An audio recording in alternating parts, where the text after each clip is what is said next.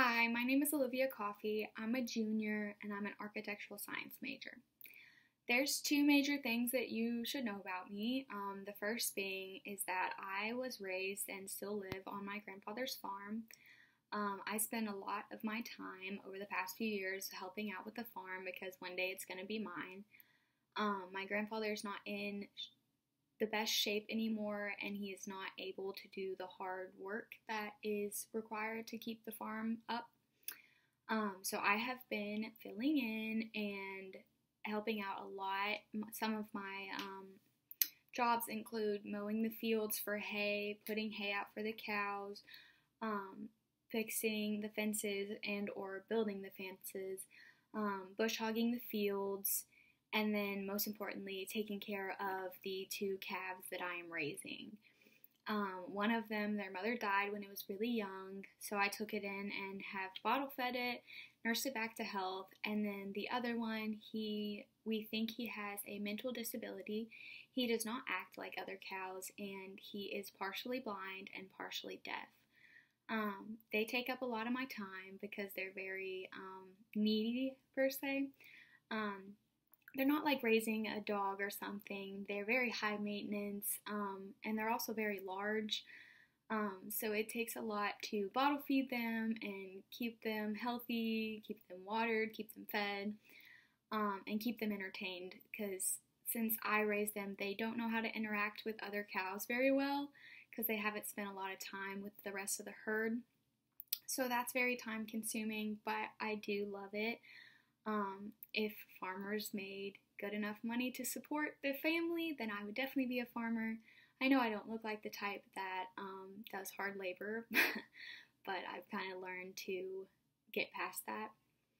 Um, another thing about me is that I really like to work with children. Um, I thought about being a teacher, but um, that just doesn't seem like the road I'm supposed to take. But I do spend a lot of time with children. This past summer, I had two separate jobs. The first one was um, working at a preschool summer camp.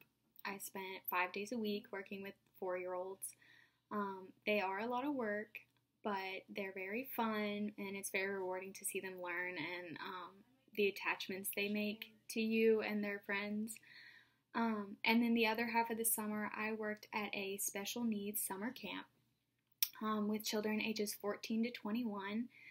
They are so much different, not in a bad way. They are just so much more fun and they learn so differently and they interact with each other differently.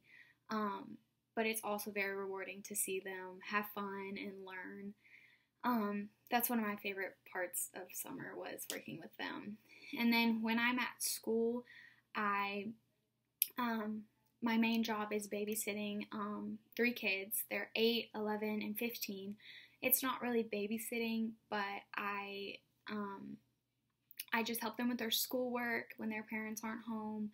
Um, and they don't really take much care, but it is fun and it's a easy job to make money and you get to connect with the kids.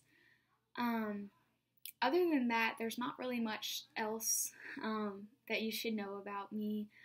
Um, I am a very big farm girl.